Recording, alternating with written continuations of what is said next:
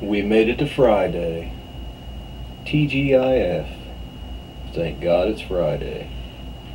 Well, we got a little action, so let's go ahead and get updated. We're over here on spaceweather.com. And we got a chance of flares. So let's go ahead and I'll highlight some of the stuff. We got a little bit of activity and we have upgraded the chance of an X-class flare to 20%.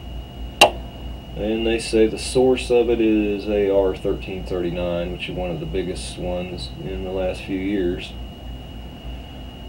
The active region has rotated over the sun's eastern limb two days ago, and it's now turning towards the Earth. It's not directly aimed at us yet, it's turning towards us. It's already unleashed one X flare on the 3rd around 2027 UT. And this is your little movie, you can watch that. And the flare created waves of ionization in the upper atmosphere, altered the normal propagation of radio waves over Europe and the Americas. In Ireland, the flare's effect was felt even after dark. and we'll get into where we're at on that here after we go through this. A cloud of plasma, or CME, raced away from the blast at 1100 kilometers a second. The CME is not heading for Earth. The CME is not heading for Earth. It is, however, heading for Mercury and Venus. Okay. Analysts at the Goddard Space Weather Lab said the CME will hit Mercury on the 4th at about 1614 UT, and the Messenger, the probe and this orbit in Mercury, is going to be monitoring all the stuff that's getting that Mercury's having to endure. And if it overwhelms the relatively weak magnetic field, it could scour material of the planet's surface, creating a temporary atmosphere and adding material to Mercury's comet-like tail. It should hit Venus on the 5th. The Gossamer Cloud will probably break harmlessly against the top of the planet's ultra-dense atmosphere. Well, it's not aimed at us. We did. We are going to catch a glancing blow, though. We already are getting some glancing blows from uh, a prior one that we're absorbing. And this is a little movie here, and you can see all your different planets. And we're the yellow one, which would be here. I don't know if you can see my cursor blinking on and off, but it's over here to the right. Right over here.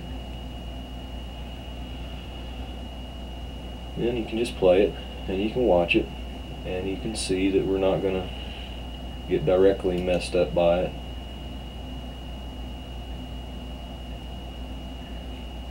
To go back over there.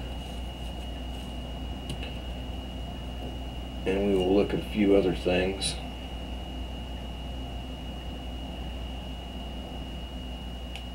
Check in on everything else. And I'll bring that up again. 200 meters, only place I could find that had it this small. Don't know why. Not gonna write them. Everywhere else, 400 meters. Now let's go check a little more space weather.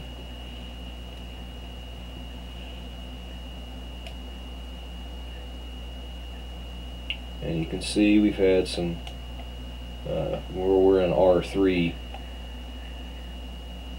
right now for radio blackout in the past 24 hours. But currently it's saying know, not, not any worse than what it was before. Our three-day forecast.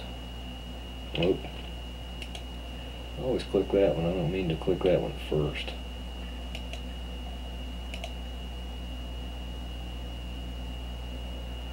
Okay. Now this is changeable if something does come about.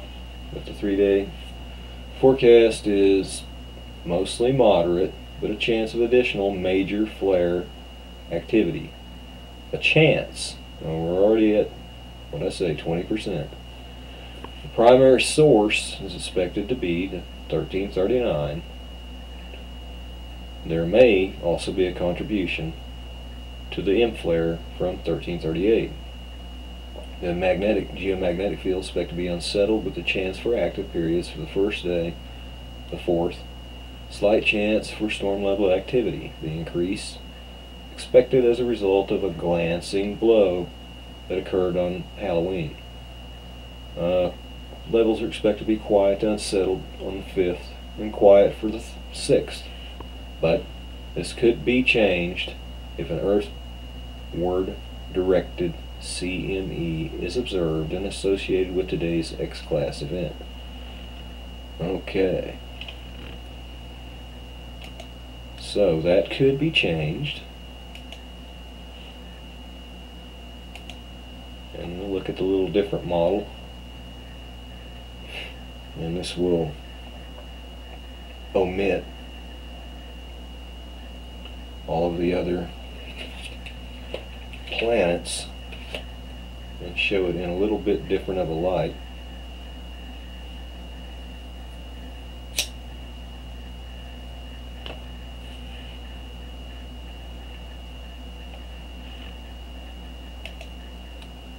There we go.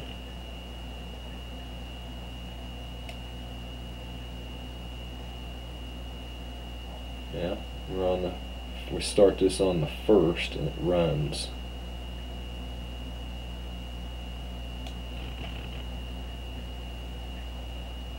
For days. And you can see where the, where I'm blinking here with the cursor. You can see your graph over here. That runs all the way to the 6th.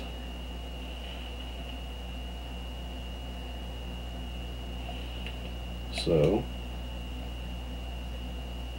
let's check the earthquakes out. We're not really getting anything from what I've been able to determine. We're simply stable. You can scan these areas over here, they're getting plenty of threes. In this little area over here in the Virgin Island, Puerto Rican region. It's not out of control there. You see the Chilean area on the third. And some four activity, four seven, four six. We come over here to the European area. And I really don't see anything in the Gulf of Aden or anything like that. China. Looks like they're fairly quiet for right now. And a couple of fives that they had. Japan, well, we'll go to Indonesia first. But along here it looks relatively quiet.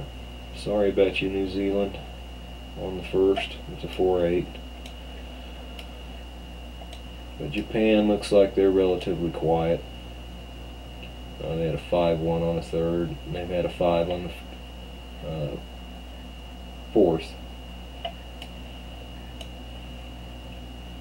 And you had a 4-2 on the third in Alaskan region there. Of course, that 5 there was in Russia. That was on the third. But the U.S. doesn't look too bad. Getting twos on the west coast right now. The Midwest looks like nothing going on at the moment.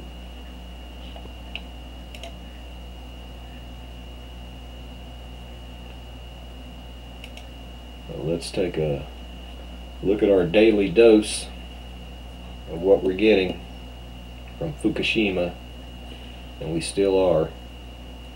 And this would be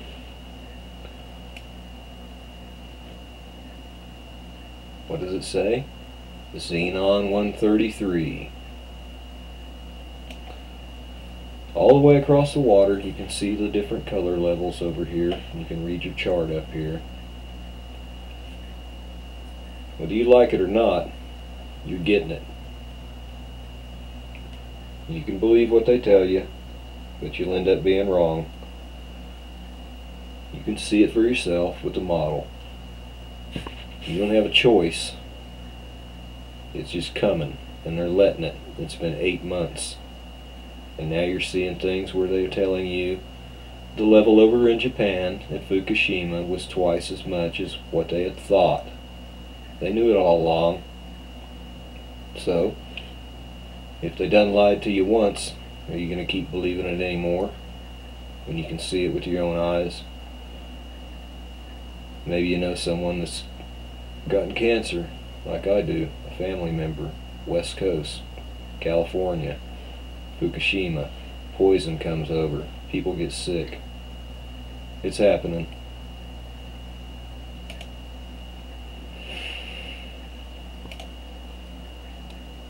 Now let's take a look at, uh, I've got this set as you can see for the 8th at 9 o'clock at night and this would be when YU55 is, you know, it's dark and maybe it'll be able to be viewable about then. I'm just going to try a little more at nighttime in the daytime.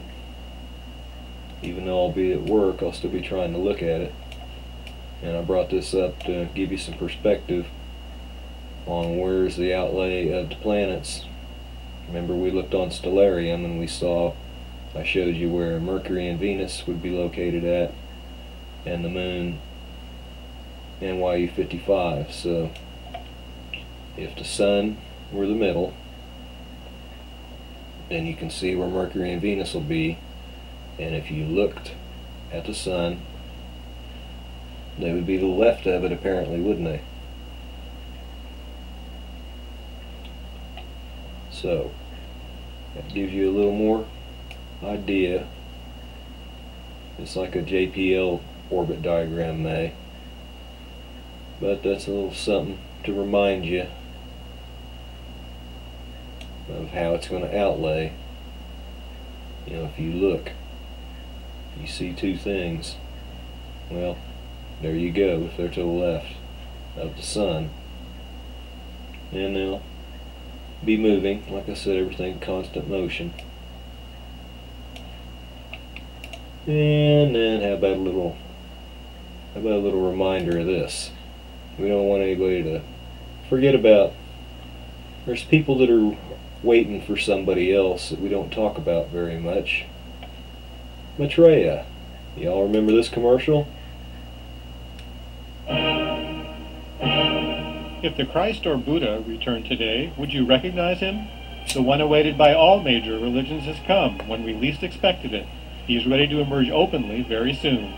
Look for a bright star shining in the sky night and day as a sign of his public emergence.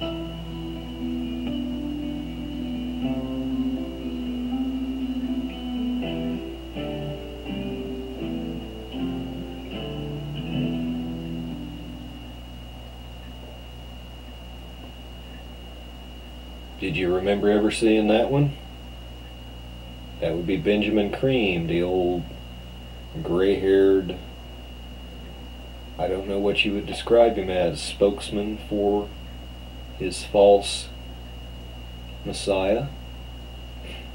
Because Maitreya is not the Messiah. As far as I'm concerned, there is no Maitreya, it's all false. But if some guy shows up and tries to be him, well, you'll know he's not Jesus. Anyway, not very many people talk about that commercial. It's a well, a couple of years old, maybe going on three or something. Maybe older than that. I don't quote me on that. but it's a couple of years at least.